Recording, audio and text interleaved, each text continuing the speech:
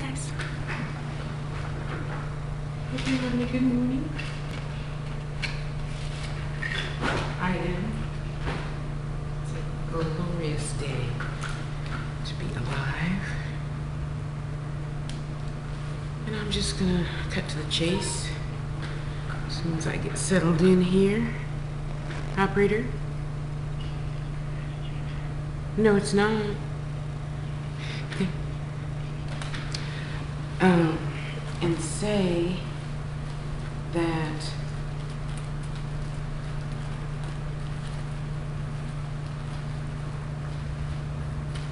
I know a lot of us are going through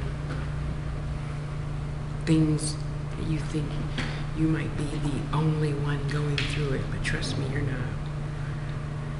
And though it feels like that, and you think you can't trust anyone to tell them your your problems and your life and whatnot.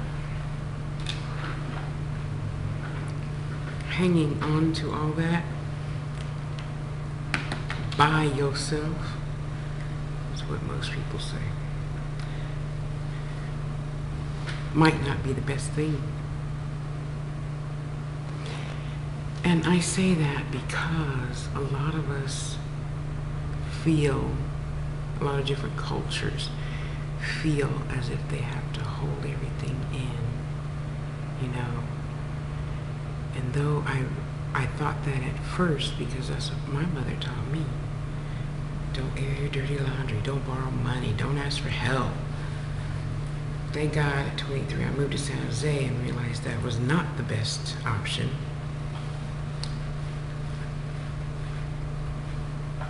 And I've always thought of myself as a good looking, intelligent woman that had a good head on her shoulders. Thank God they're wide. With a good mind. I don't I don't know everything. I'm not a very political person. Not that the two go hand in hand. And I'm happy that I made the choice to do something other than what I was taught to do. You know? And sometimes you gotta you gotta realize mama wasn't right about everything. She did what she knew to do at the time. And that's all she could do, what she knew at the time. You know, I Oprah always uh, um, repeats, you know, like Maya Angelou says, when you know better, you do better and the queen knew to do better. So I did. And it felt really good. It was a good choice. It was a it was a, a, a great option for me to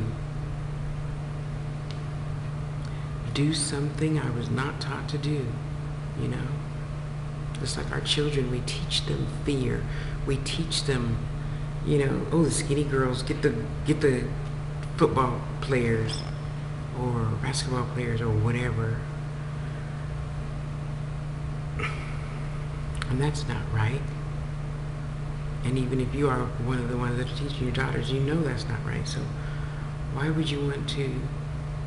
Never mind. And and our sons, be the be the football captain. Don't just be a player. You got to be the captain.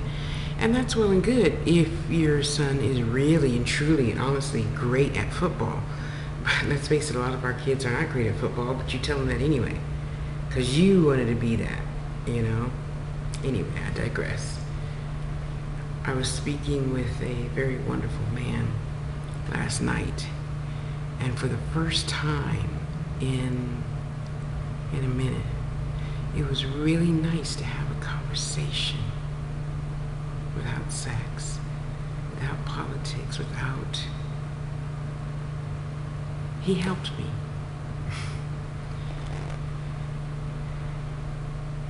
and it was so moving to me that I, I, just had to tell him that, you know, thank you. You know, no, no big thing. And probably to him it was no big thing. However, I find it must be my lessons in life to learn to get over challenging men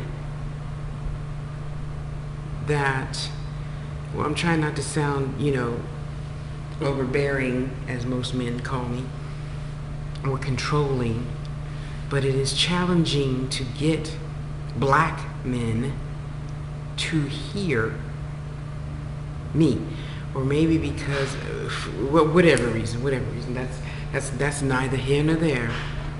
When i say a thing you might want to hear that hi baby you know i married two latin men i dated several white men indian men indian men hawaiian men Chinese men, Japanese men. Yep, I'm just a little rainbow. you know, so it, it meant a lot to me, and I thank you for hearing me and answering my question.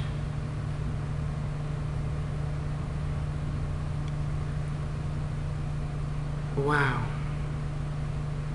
That was a, a truly wonderful, beautiful experience. I got to tell you, people out there, ladies, and men who feel like ladies don't listen to you.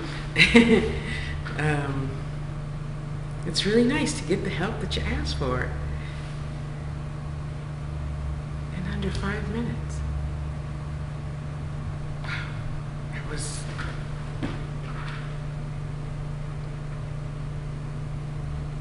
moving. I don't I don't know I don't know what else to call it. It was moving. It was it was you know tantalizing. I gotta tell you, it was almost damn near erotic. I tell you. So you see, little girls, and thank you, my angel, by the way, for helping me last night. I appreciate you for that. Hold on, youngsters. You know, we think because things start tingling and mingling and that's that you know love and da, da, da, da, da, da, da. oh and he looked at me like this and she did that so she must want me to do no it's not that at all eventually you will see it is not that at all excuse me you will see that the deeds done is what turns into the emotion. Love is a deed. And then that deed turns into an emotion. You know, my brother was right.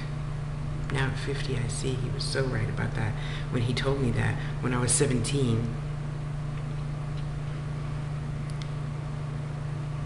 So let's all try to remember, and I remind myself right now that life is what I make it. I make I create my own happiness or unhappiness. Okay. Just like you create yours, and, and unfortunately, a lot of times ours has to mingle. But I have to remember that yours isn't mine, and mine isn't yours, and I'm going to love you no matter, and not begrudge you however you think your happiness should be. You know, I am the queen. I can let you have your peace of mind until you enter my domain. When you enter my kingdom, then it's my way. And yeah, that kind of sounds like a little baby, but I, I, though I'm not a baby, I act like one though, a lot of times. I respect your right to do whatever you feel you need to do until I say, please don't do that. And it must stop. Because in my house my happiness comes first. In your house i respect it to give you your happiness first. Reciprocity you know? And being the queen in my kingdom i would like for all the youngsters to a be happy b figure out what it takes to be happy and do that not not harming in others in any way, shape, or form. And C, to realize that maybe your thought of happiness could be learned a different way. You know? You thought you only like apples, red apples. Have you ever had a green apple? No. Oh, see, you might like a green apple. It's a little tart sometimes. I don't particularly care for tart. I'm a sweet person. Therefore, I eat all varieties of red apples. I have not come across a tart red apple yet, so I stick to those. You know, it's at some point you have to get to the point to where you say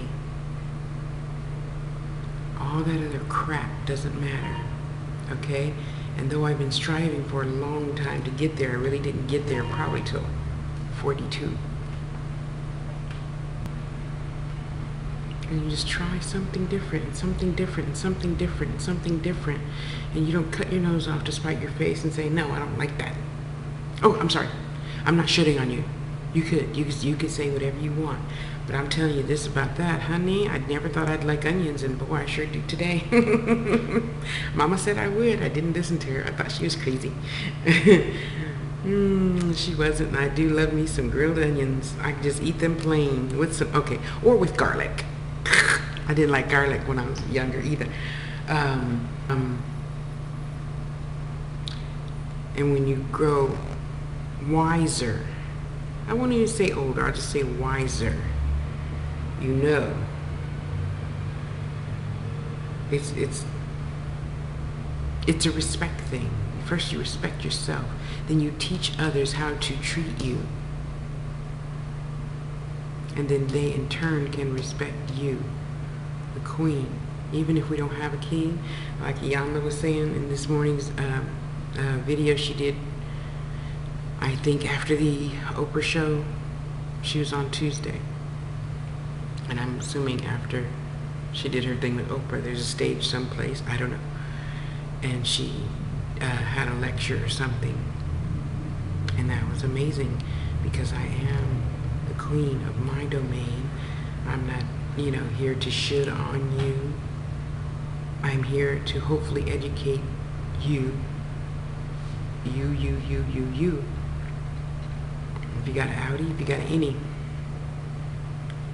to realize that everything is what you make it. Your boss calls you, why didn't you answer the phone at 8 o'clock?